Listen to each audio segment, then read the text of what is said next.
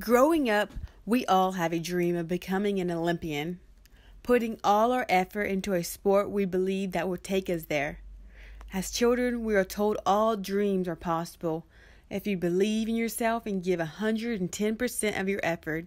As a kid, getting to the Olympics seems like a doable task if you put in hours of effort and continuously practice and persist.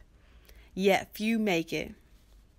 We grew up on the same team as others, getting coached by the same coaches and training the same as our teammates. Yet there is this one teammate who is inherently better for no reason. She is stronger. She's able to withstand extra reps, extra sets, and no rest days and still have fuel for more.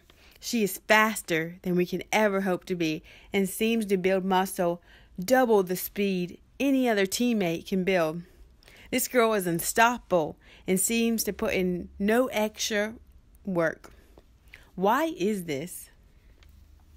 She has a mutation that allows for the overproduction of ACTN3 protein, which is making her unbelievably strong and fast. Alpha actinin 3 is a protein in skeletal muscles that is encoded by the ACTN3 gene and it seems to be involved with fast twitch muscle fibers. Fast twitch muscle fibers are basically what they sound like. They are muscle cells that have quick contraction times and give you bursts of force. They are the muscle cells that let you sprint really fast. Fast twitch fibers are usually full of proteins that break down the long sugar storing molecule called glycogen turning into it into glucose and other energy packed compounds that your muscle needs to work. Researchers believe alpha actinin 3 helps with a number of things, like making and stabilizing fast twitch fibers and breaking down glycogen. So, since this ACTN3 protein is present in skeletal muscles, why are few people this strong and fast? Well, lots of people, besides sprinters and weightlifters, have a loss of function mutation in the ACTN3 gene, so they don't have working alpha actinin 3 proteins. And the loss of function mutation of R577X, a T at position 557, causes a stop codon.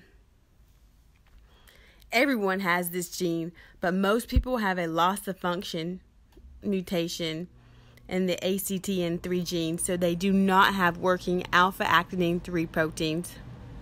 Some top notch sprinters and weightlifters have at least one functional copy of this gene, which means they can make the proteins that might help with seemingly superhuman bursts of power and speed.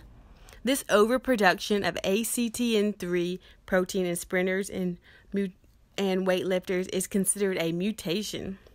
However, this mutation has no negative consequences and only positive.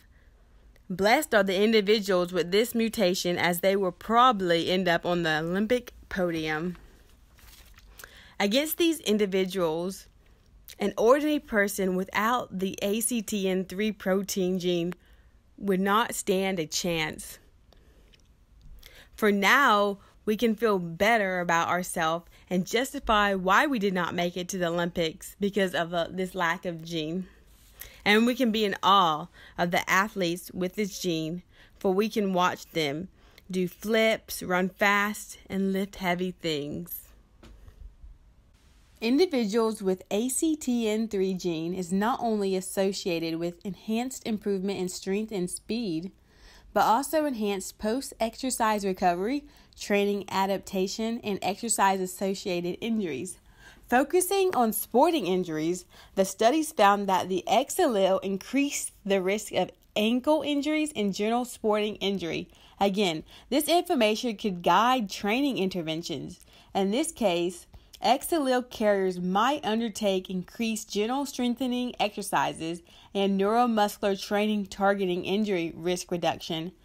Finally, maximizing the training response is crucial, both to elite athletes looking to improve by fractions of a second and to beginners looking to, to decrease their risk of disease. Increasingly, there's evidence that polymorphisms, including ACTN3 R577X, can impact this adaptive process. This information is important, not just because it illustrates the wide ranging impact single nucleotide polymorphism can have, but also because it represents an opportunity to personalize and enhance training guidelines. Nevertheless, the use of genetic information represents an opportunity to enhance training prescription and outcomes and exercisers of all abilities.